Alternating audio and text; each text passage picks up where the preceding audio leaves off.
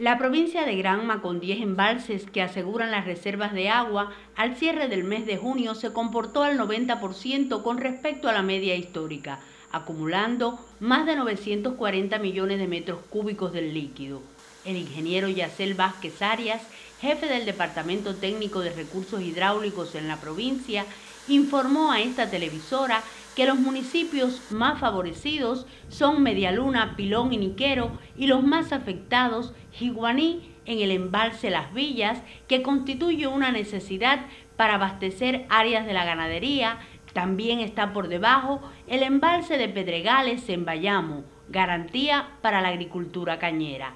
Al valorar el comportamiento de las lluvias en el actual mes de julio, el tercero más lluvioso del año, el especialista manifiesta que el territorio está al 63% de la media y los municipios de Pilón y Manzanillo son los de menor cantidad de lluvias.